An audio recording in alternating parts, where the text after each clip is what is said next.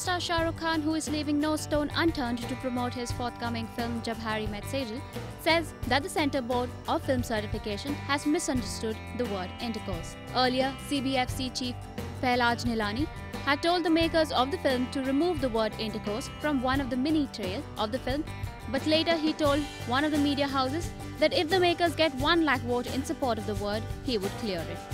When Shah Rukh was asked about the same during the song launch of the film on Monday night, he said, मैं यही कहूँगा कि जैसे लोगों ने वोट किया वैसे ही लोग फ़िल्म देखने आ जाएँ।